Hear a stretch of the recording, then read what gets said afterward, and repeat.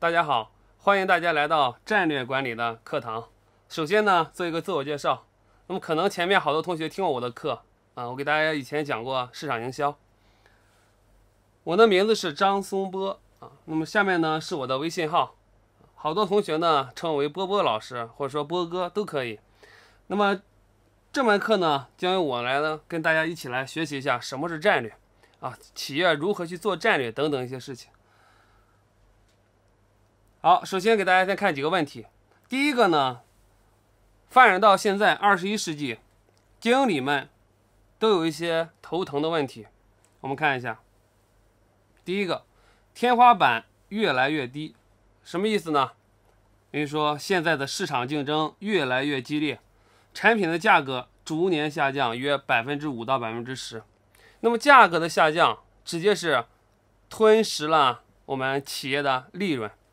第一个问题，第二个问题，地板越来越高，这是说人力成本、物资、原材料等运营成本呢逐年上涨，也是每年约百分之五到百分之二十。也就是说，在利润下降的同时，那么成本呢是在上涨的。第三个问题，生存的空间越来越小，价格不易提高，成本不易降低，唯有努力增强生产力和提高竞争力以求生存。那么，如何去增强竞争力呢？这也是我们这门课要学习的内容。再看一下中国企业发展中的一些困惑。困惑一，这个就涉及到战略管理的逻辑。面对许多的机会，不知道哪一个真正属于自己。那么市场中呢，啊，会随时出现很多的发展机会。那么有的企业把握住了。他很可能什么迅速的获得一个成功，有的企业呢没有把握住机会，稍纵即逝。第二个呢，就是企业永不停息的扩张，不知道什么时候应该停下来。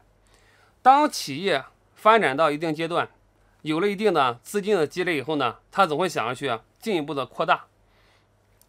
那么这个扩张也是有一定的速度的限制的，如果扩张过快的话，也容易出现很多的问题。困惑二。战略是高层管理者的专利，下属总是不能理解管理者的意图，不能站在管理者的角度去思考他们的工作。好，说到战略这个词，企业里面的多数员工都是都会觉得说，战略跟我没什么关系，战略是老总们、是中高层的管理者们该考虑的问题。其实呢，这是一个误区。面对市场的变化，下属显得非常的低能。什么意思呢？比如我们说市场啊，市场营销部门一些一线的员工，是他们直接接触我们企业的消费者啊，我们的顾客。他们接触顾客以后呢，会发现很多的问题。这这些问题呢，可能由于这种误区的存在，他们觉得啊，这是高层决定的事情，我没必要将我发现一些小问题去向上一级级的汇报啊。这是困惑之二，困惑三。战略管理是大企业的问题，那么尽管自己竭尽全力，企业还是原地踏步，以及看着其他企业由小到大迅速发展，难道仅仅是运气吗？好，我们说战略管理是不是只有大企业去考虑才对？答案肯定是否定的。我们说新兴的、你新成立的企业，甚至说在你企业成立之前，你就应该将你企业发展的一个整体的战略将它规划好。好，这是我们现在发展中的一些困惑。我们再看一下，中国呢很多企业出现了战略危机，给大家列举了一些啊。第一个，要不要多元化？那么在这里简单给大家说一下，什么是多元化呢？很简单，比如说原来你是生产矿泉水的，现在呢你要去生产衣服啊，这就简单一个多元化的例子。要不要多元化呢？这个问题也是困扰。一些发展中的企业的问题，那么多元化是一把双刃剑，那么做得好了，嗯，会将你的资金什么充分的利用啊，有有多种途径去获取你企业的利润。相反，如果做的不好，多元化会导致什么企业的一个利润的衰减。你比如说啊，举一个简单的例子，霸王洗发水，这个大家都知道的。那么霸王洗发水呢，它走多元化了，它做什么呢？他做霸王凉茶，可能当我说出“霸王凉茶”这四个字的时候，同学们都会惊讶说：“霸王凉茶没听过呀，甚至更更加没喝过。”对，那么霸王凉茶呢？它运营了三年多，最后还是宣布失败了这个战略，也就是说多元化战略宣布宣布失败，他赔了很多钱进去。第二个问题，要不要上市？上市呢，也是这两年在我们国内非常火的一件事情。大家知道，上市的最直接的目的是什么？融资，对吧？哎，我想要获得更多的钱，啊，想要再发展。当然，这其中不乏一些想要什么通过上市来圈钱的公司，可能它本身的业务啊，它本身的战略发展一般，啊，但是呢，它总想去圈钱。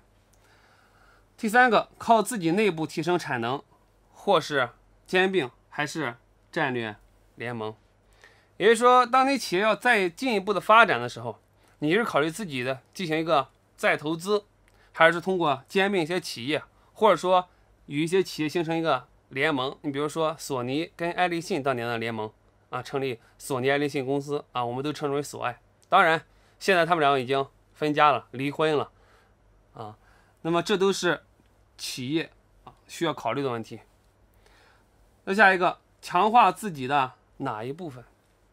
好，很多的企业发展起来以后呢，当做的稍微有了一定规模以后呢，会出现一个问题：我应该做哪一个主营业务，或者说我应该强化哪一部分？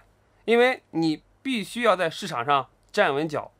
你要站稳脚呢，不能依靠什么呢？这种全面的或者这种浅的那种发展，你应该必须突出自己的一个优势。你比如说。举个简单的例子，那么说京东，那么京东什么强呀？它是物流强，对吧？那么是淘宝什么强呀？淘宝可能是它的商品种类比较齐全，这个强。所以说啊，这也是个问题。再下一个，如何摆脱同质化竞争？那么说到同质化这个词呢，相信大家也不陌生。经济发展到今天，可以说绝大多数品类的商品已经出现什么同质化现象了。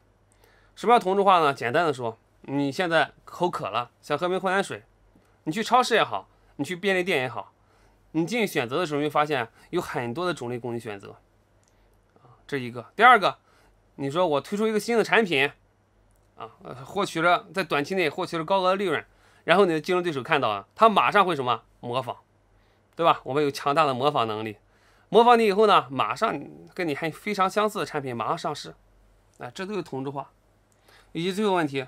降价，为什么降价呢？其实降价也是同质化导致的一个啊结果。因为什么呢？大家产品都差不多了，你怎么让顾客喜欢你的产品？除非你做的非常的什么具有差异化啊，要不然就是大家可能都可都会选择降价啊。那么这是企业可能面临一些战略方面一些危机。好，再给大家说一下企业家的三大问题啊。做企业的时候有这三个问题需要考虑。第一个需要问自己目标是否明确，第二个战略是否正确，第三个战略能否执行。好，我们先看，如果问你企业你的目标是否明确啊？如果你说是，那么我我们往下走，再看战略是否明确，也就是说根据你的目标，你制定的战略是否正确啊？如果这也回答是，接着往下走。就是说战略能否执行啊？虽然你战略制定出来了，但是能否顺利的实施执行，这也是问题。好，反之，如果问你战略是否执行，你答否的话，就证明什么？你的战略制定是有问题的。所以说呢，你必须回到上一步，重新制定你的战略。好，如果问你战略是否正确，你说否，不对，那么肯定什么？可能是你的目标出了问题。所以说你要返回最开始啊。那么这是一个循环的过程。这个大家了解一下可以。那么具体的目标啦、战略制定了、战略实施呢，我们后面会给大家详细说。下面呢说一下我们这门课程主要给大家要传授的、给大家分享的知识点，主要呢有这六个部分。第一个部分呢就是战略管理的一个理论，我们用一些成语来概括一下啊。这个第一个呢就是我们称之为这个拨云去雾。直面真谛，也就是给大家讲述一些管理上的理论。第二个，战略管理的概念啊，概念层面的东西。